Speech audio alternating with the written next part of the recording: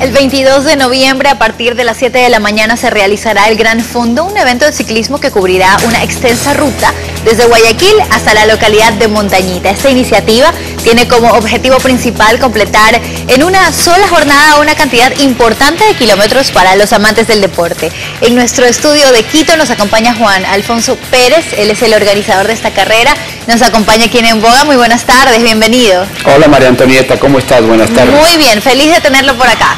Muchas gracias. Cuéntame por favor, ¿qué es el Gran Fondo? Eh, es un evento ciclístico, Gran Fondo significa en italiano larga distancia. Los italianos lo crearon hace muchísimos años ya. Eh, y básicamente se trata de lo que dijiste, completar una cantidad importante de kilómetros, que en este caso son 170, que unen a las ciudades de Guayaquil y Montañita en esta versión. Bueno, ¿y cuáles son los objetivos principales de esta carrera?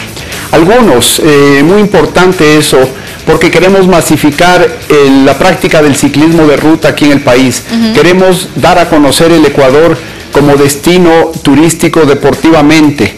Queremos que la gente venza un poquito ese miedo a no poder completar esta cantidad de kilómetros. Eh, muchos ciclistas entrenan 60, 70, 80 kilómetros y cuando se les menciona 170 eh, se asustan un poquito. La idea es que aprendan eh, de su cuerpo, que le enseñen a su cuerpo a rendir un poquito más, que venzan ese miedo. Ya en la primera versión de Santo Domingo de Esmeraldas eh, tenemos una retroinformación muy importante. Gente que no rodaba sino 60, 70, 80 kilómetros, completaron 180 kilómetros en esa versión y están gratamente sorprendidos con lo que ellos mismos pueden hacer. Claro que sí, porque así se puede, ¿no? Así es. Tenemos entendido que el Gran Fondo pasará por varias localidades de la provincia. ¿Cuáles serán estas localidades, si me puede comentar? Claro que sí, salimos de Guayaquil, la avenida Carlos Julio Semena, avenida del Bombero, cogemos vía la costa, pasamos por Chongón, Cerecita, Progreso, Zapotal, cogemos del desvío a San Pablo, ahí inicia la Ruta del Sol, pasamos por Monteverde, eh, las localidades de Simón Bolívar, Valdivia, se me olvidan, la verdad no sé muchas de, pero llegamos a Manglar Alto y finalmente a Montañita. Bueno, eh, esta carrera también ha contado con el apoyo de la empresa privada, que es muy importante también para la realización de la misma. Eh, por supuesto que sí. Eh, aprovecho para agradecer a Seguros de Quinoxial, Crepes y Waffles, Cicla, nos han dado su apoyo, han creído en este proyecto, están muy contentos con los resultados y esperamos en el corto plazo poder seguir contando con ellos como auspiciantes. Bueno, Alfonso, hábleme un poquito, por favor, de las categorías.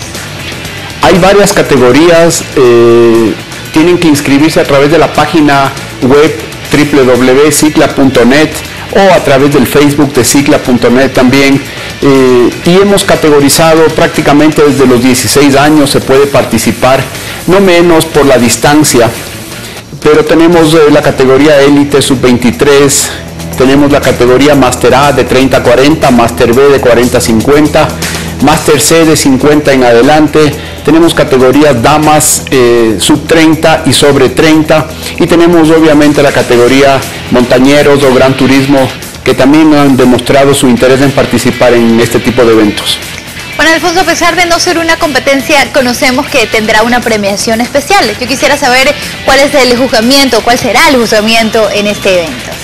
Así es, queremos eh, de alguna manera retribuir el gran esfuerzo que hacen eh, los ciclistas por estar en este tipo de eventos, eh, no solo físico, también a veces económico, hay que pagar un hotel, hay que pagar una inscripción, hay que llevar en muchos casos acompañantes, se unen. Entonces, nuestros auspiciantes nos han donado una serie de premios que serán repartidos entre los primeros lugares, pero también a gente que hace un esfuerzo especial.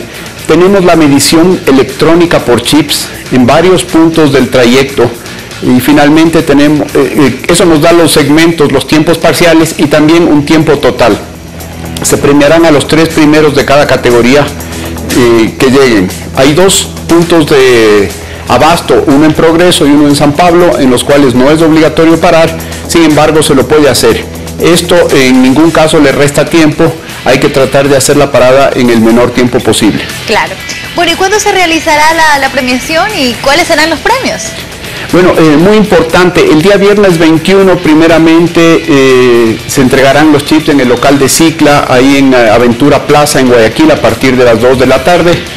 Y la premiación se realizará en, en la llegada en Montañita, que va a ser en el estacionamiento que hay al ingreso de Montañita, ahí habrá un arco, ahí estará puesto la llegada, habrá una medición electrónica de chips, habrán las carpas de los diferentes auspiciantes y eso, eh, por ejemplo, tenemos de seguros de Quinoxial eh, eh, algunos premios de seguros para, para hogar, tenemos órdenes de compra de Cicla, de Tecnociclo, tenemos órdenes de compra de MyFlower, de Buffalo, que con eso se, de alguna manera se motiva a los ganadores. Bueno, ¿y cómo pueden hacer las personas para inscribirse si alguien nos está viendo y quiere formar parte del gran fondo? Sí, aprovecho una invitación a la ciudad de Guayaquil y, a todos los televidentes que de alguna manera conocen o saben de este deporte o de alguien eh, que lo pueda hacer, pásenle el dato, se lo puede hacer a través de la página www.cicla.net, ahí va a haber un link hay primero toda la información del evento y luego un link a www.unoespro. En Uno es Pro eh, se llena información básica, de esa manera nosotros podemos categorizar, saber eh, la edad que tiene y le ponemos en la categoría correspondiente. Adicionalmente nos da información básica en caso de algún accidente, eh, nosotros tenemos y notificamos a Seguros Equinoxial para que sea eh, prontamente atendido y cubierto con la respectiva póliza. Gracias por acompañarnos esta tarde, Juan Alfonso. Y bueno, la invitación está para el 22 de noviembre, ¿correcto? Así es, por favor, las inscripciones son hasta este miércoles eh, y probablemente tengamos inscripciones de última hora si todavía nos quedan cupos en el, viernes en el local de Cicla. Gracias, María Antonieta. Eh, Gracias de Telerama. Gracias, gracias a usted por acompañarnos esta tarde y, por informarnos de esta gran iniciativa. Así que le vaya muy bien. Amigos televidentes, si ustedes quieren ver nuevamente esta entrevista, yo los invito a ingresar en nuestra página web en www.telerama.es. En la sección en boga, no solo eso, además ustedes podrán chequear cada una de las notas que salen en nuestro programa. También pueden seguirnos en Twitter en arroba en.